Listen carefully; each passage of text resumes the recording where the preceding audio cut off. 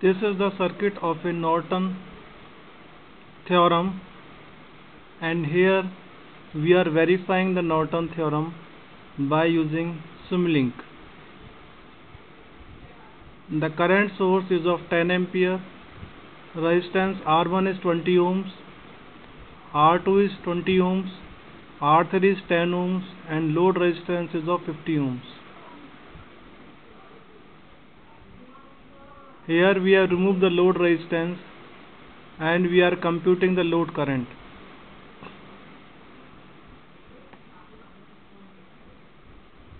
So we can see that the value of the load current is 4.714 amperes after removing the load.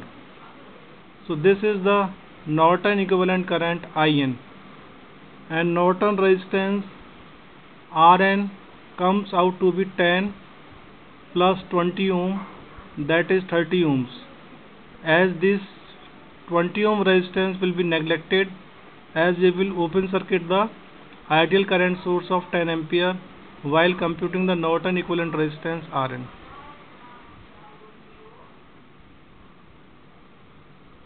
This is the Norton equivalent circuit. This is the Norton current 6.66 ampere. This is RN 30 ohms and this is RL 50 ohms.